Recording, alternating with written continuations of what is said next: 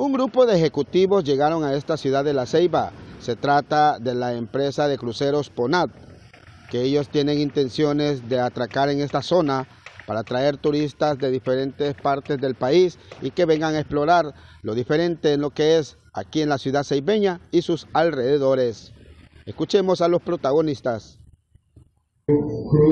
He diseñado con Joseph un nuevo crucero en que vendremos en el 2023 por cuatro días a Honduras, a Guanaja, Cayos Cochinos, Cori Salado y Punta Sal, por lo menos.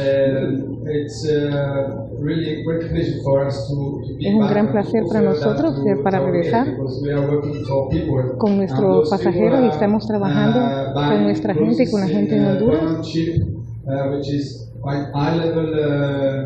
y nuestros pasajeros están comprando nuestros cruceros. que son cruceros de muy alta calidad y que andan buscando lugares muy auténticos, los más auténticos que hay y estamos muy contentos de poder ofrecer ese itinerario el próximo año, 2023. Cruzamos las manos para que podamos venir en 2023 como lo tenemos programado el próximo año. Le decimos a nuestro alcalde, a nuestro alcalde y a todas las personas eh, involucradas en, en nuestro viaje, en nuestra expedición, muchas gracias.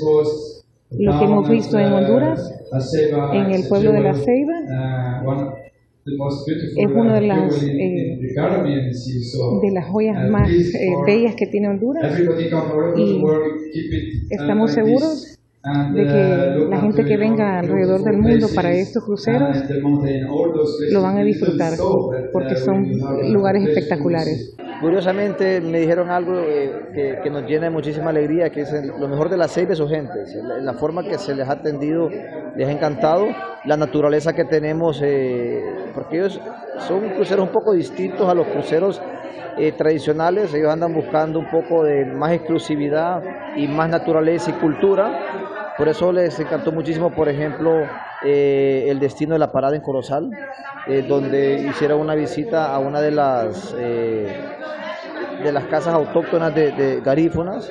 El tema de la gastronomía también les interesa mucho y la parte eh, de la naturaleza a nivel general. Y yo creo que eso tiene mucho que ofrecer. No les interesa llegar a un hotel grande, no les interesa llegar a un resort, lo que les interesa es conocer de la cultura, conocer de la naturaleza y aquí en la ciudad de La Ceiba tenemos eso en abundancia. Sí tenemos ciertas limitantes, por ejemplo el tema del, no tenemos un puerto de cruceros como lo tienen otros destinos, pero esas son cuestiones que las podemos ir viendo a futuro. Se espera que para el 2023 se comience con algunas exploraciones aquí en la zona. Sería entre Cuero y Salado, también en la ciudad de La Ceiba, Cayos Cochinos y Útila. Desde Ciudad Puerto de La Ceiba para Noti les informó Wilmer Montoya.